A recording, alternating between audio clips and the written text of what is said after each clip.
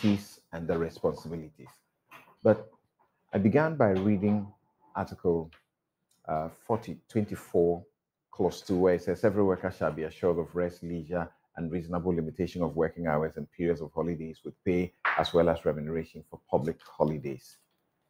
What does this mean? It's in the Constitution. What does it mean? It, it's, it is in the Constitution and is also reflected in um, Section 10 in there, where you have the rights of the worker. So, I Section mean, 10 of. Section 10 AB of the Labor Act. Okay. Yes, Act 2003, six, Act 651, 2003 in there.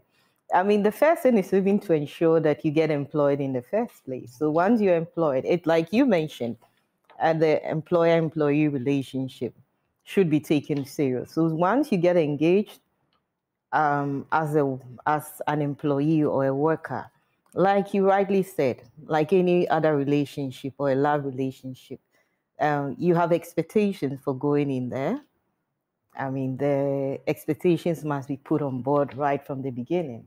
This is what I expect you to do, and this is what I will do on my part. And one of the conditions in there is to ensure that once you're working, um, you an employer has engaged an, a worker to come in and do certain described or what do you call your job description. Once you're doing that, the law says that you can't be working indefinitely. You can't be working um, without any end. So there must definitely be some rest periods. When you go under the Labor Act, it says that you must, for instance, work between a 40 hour week. So within the week, you should not do anything exceeding 40 hours. Anything exceeding 40 hours should be considered overtime. So that is what the law expects. Of course, Overtime and paid for. and paid for. Okay.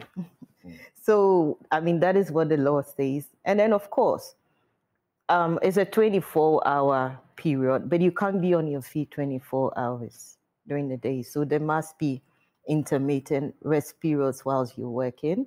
Of course, it's how many days in a, a month? We have 20 working days in a month, but you can't be working in there. There must be times where you must take some rest. And of course, when you're resting, you should be paid for those rest periods, including public holidays. Mm. So that is what it says in Right. the law. And Um, Steve, the provision begins by clause one. Mm.